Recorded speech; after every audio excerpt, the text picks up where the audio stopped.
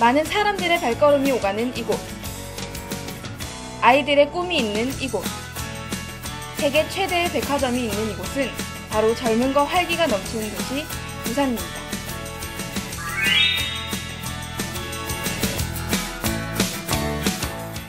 부산 국제영화제 개막을 선언합니다. 세계가 주목하고 부산 국제영화제가 매해 열리고 있는 영상 산업의 중심이자 영화의 도시로 떠오르고 있는 부산.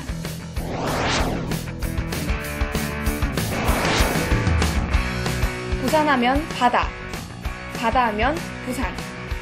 젊은 활력과 즐거움이 공존하는 바다의 도시. 그리고 세계 5대 항구로 뽑히는 우리나라 최대의 항구 도시.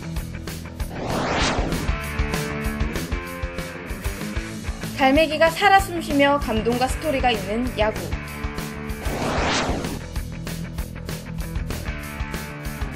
롯데 자이언츠를 사랑하는 관중들의 함성으로 가득 찬 열정의 도시. 이러한 모든 곳을 하나로 이어주는 길이 있습니다. 그곳은 바로 갈매길 700리입니다.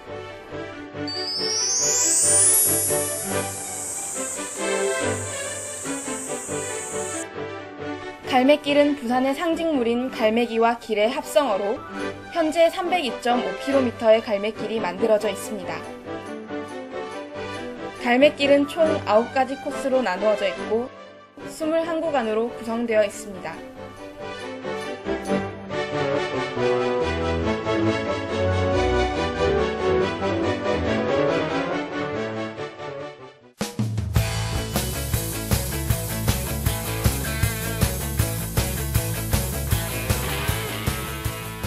아홉 개의 코스 중 남녀노소 할 것 없이 부산의 바다를 즐길 수 있는 곳으로 가장 인기가 많은 두 번째 코스가 있습니다. 즐거움과 여유가 넘치는 이 코스는 문텔로드에서 동백섬을 거쳐 광안대교를 지나 오륙도 유람선 선착장으로 도착하게 되는 코스입니다.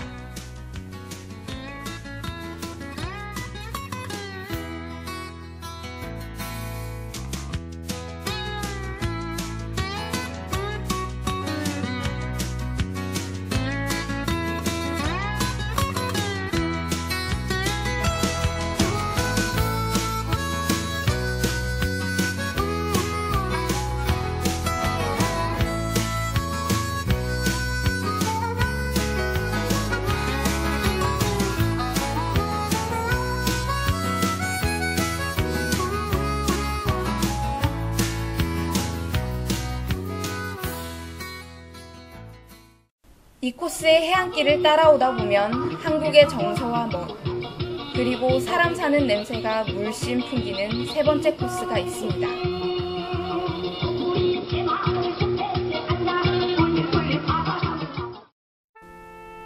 3코스는 역사가 가득한 곳으로 40계단 문화 관광 테마 거리가 있습니다.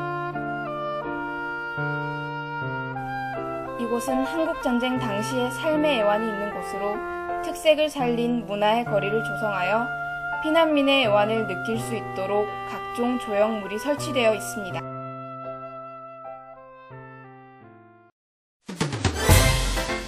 도심길을 따라 걷다 보면 도심 속 휴식 공간인 용두산 공원이 있습니다. 그리고 그 속에는 부산을 상징하는 부산타워가 위치하고 있습니다. 전망대에서 내려다 보면 부산의 전체적인 아름다운 모습을 한눈에 보고 느낄 수 있습니다.